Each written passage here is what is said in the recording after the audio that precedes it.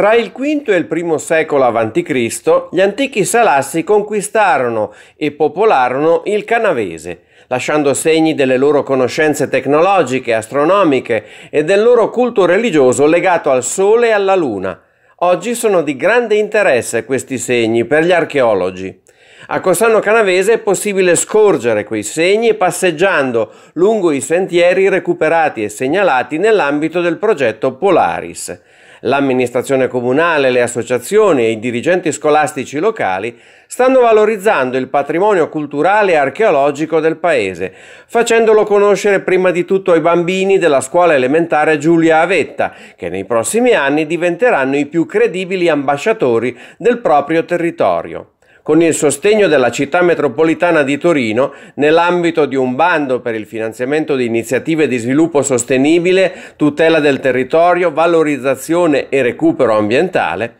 il progetto Polaris ha proposto agli alunni delle classi quarta e quinta elementare una giornata didattica. In mattinata un laboratorio sull'anfiteatro morenico di Ivrea dalla preistoria ad oggi. Nel pomeriggio un'escursione sui sentieri dell'antico bosco sacro della Pera Cunca un masso erratico segnato da alcune coppelle, incisioni semisferiche che si ritrovano in molti siti archeologici di epoca preistorica.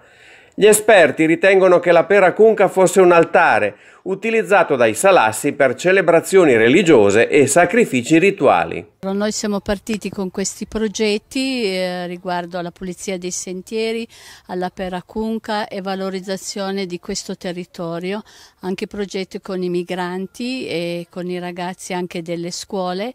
e quindi noi ci crediamo in questo e vogliamo continuare in questo percorso.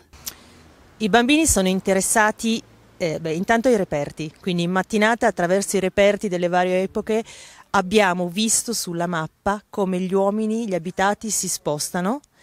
eh, che ne so, dai laghi si passa ai colli, eh, in relazione intanto ai cambiamenti climatici che sono all'origine di qualsiasi cambiamento di periodo storico che noi riconosciamo così, e, e alle risorse naturali. Per cui oggi pomeriggio andremo sui luoghi dei Celti, che per definizione stanno sui colli, proprio perché in un periodo di alluvioni, eccetera, e eh, andremo quindi a vedere un tipo di religiosità che noi archeologi definiamo quasi quando le cattedrali erano verdi, cioè quando i boschi erano nostre, i nostri luoghi di culto. E la cosa molto interessante è che qui, oltre ad avere questa, questo altare preistorico, la, la cosiddetta Peracunca, eh, ci rimane anche un toponimo, il nome del luogo, il bosco che attraverseremo ora si chiama ancora Lusenta, viene da lucus, il latino, il bosco sacro, e eh, che ha la radice stessa di lug, il sole.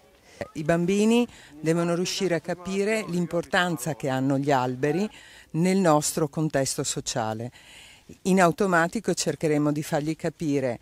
quali sono tutti gli argomenti correlati al bosco e soprattutto vogliamo fargli capire che l'albero è un produttore di ossigeno. L'entusiasmo, ma anche stamattina c'è stato entusiasmo perché non era comunque la solita lezione frontale, anche la loro disposizione in palestra, in cerchio, osservavano delle cose portate dall'archeologa, quindi